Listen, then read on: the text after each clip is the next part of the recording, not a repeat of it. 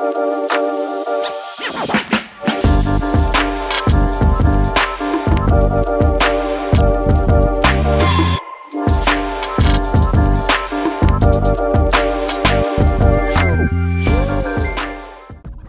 morning, Royals. Today is Friday, November 3rd, 2023. And this is the Royal Rundown. My name's Elise. And I'm Noah. Now we'll send it over to Lillian and Josh for our club and sports news. Royals, this is Lillian back with your club and performing arts news. The MSA Mudsock is today from 3 to 5 p.m. in Cafe D. There will be pizza, snacks, and competitive games. Admission is $5. HSE Drama Club presents The Curious Savage, a dramatic comedy detailing the story of an elderly woman, her children, a group of misfits, and $80 million. This show runs November 16th through 18th. Shows will start at 7 p.m., and student tickets are $8 from Purple Pass. That's all for you today, Royals. Now over to Josh with sports. Thank you so much, Lillian. On with your sports news today. The boys football team will be playing Fishers home. That will be their sectional game. The theme will be blackout and it'll be 50 degrees, so make sure you go out and support. Let's get that win.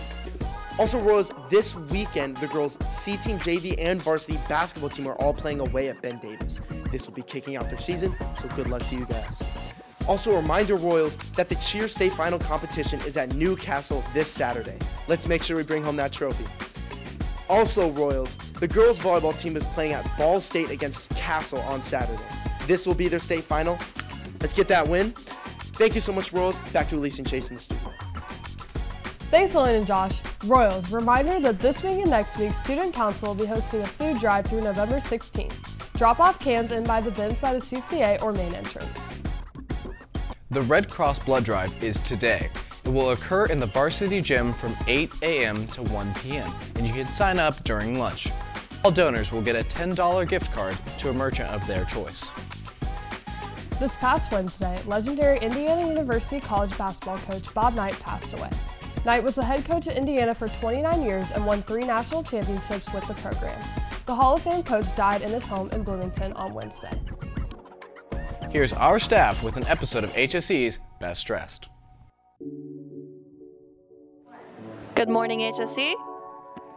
It's the one and only Devin Turner here with you. My pile. And today we're going to be discussing. HSE's best dressed. Let's get it. Okay, so today we're going to be talking about um, HSE's best dress, and I love your outfit, so I'm going to ask you a couple questions. Uh, where do you get your outfit inspiration? Um, it just comes from the heart. From the, from the heart, okay. And um, can you give us a little OOTD where you got everything? Um, these are Converse. Got them from the Journey store. And then these pants, I, I couldn't fit them for a while, but they're from Shein and I could finally fit them. And then I thrifted this. I got it from Goodwill. And then this jacket I got from my stepdad's closet. It's Nike. Oh, cute. And if you could switch closets with any celebrity, who would it be? Um, probably De'Ara Taylor. All right. All right, perfect. Thanks. So, where'd you get your outfit?